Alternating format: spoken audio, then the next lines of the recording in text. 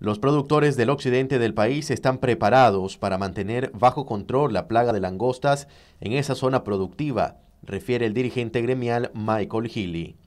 En Occidente lo que pasa es que en el área de Cosigüina, por ejemplo, antes no tenía este cultivo, que ahora sí está teniendo cultivo por el crecimiento que ha tenido, el desarrollo que ha tenido en la agricultura en los últimos años, ¿verdad?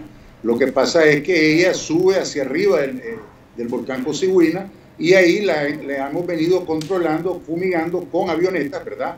Para controlar esta, este, esta, plaga, ¿verdad? Pero ahorita lo que estamos teniendo son focos, ¿verdad? Que están siendo controlados, ¿verdad? Sí hay un monitoreo constante porque es un, un, insecto que ataca fuertemente a las gramíneas, también a lo que es frijol, maíz, caña de azúcar este, y otros diferentes productos que producimos aquí en Nicaragua eh, en el sector agropecuario. Pero hay un monitoreo constante y se está combatiendo esos focos para que no se pueda propagar ¿verdad? esta plaga.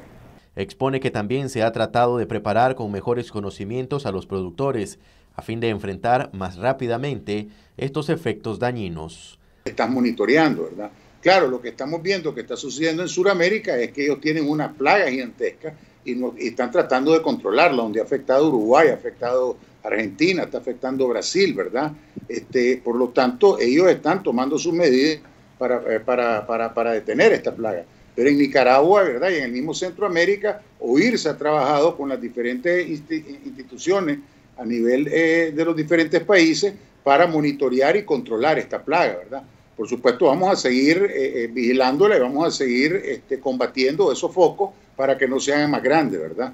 Este, eso es, ese es un deber que hemos hecho toda la vida, lo hemos hecho los productores. Claro que ahora hay una preocupación más grande por lo que está sucediendo en, Sudamérica, ¿verdad? Eh, estamos haciendo, para que entendas una cosa, estamos haciendo unos webinars también con los productores a nivel de Centroamérica. Este, ya lleva dos semanas uno, este, con OIRSA, para que el productor esté atento de cuál es la situación de esta, en, un dado caso que hay una gran propagación, que es exactamente cuáles medidas vamos a tener, ¿verdad? Este, creo que esto termina la semana que viene y después van a volver a hacer otro para que se integren más productores y estén atentos a esta situación que nos puede surgir si no se logra controlar esta plaga. Pero ahorita está bajo control. Marcos Medina, Noticias 12.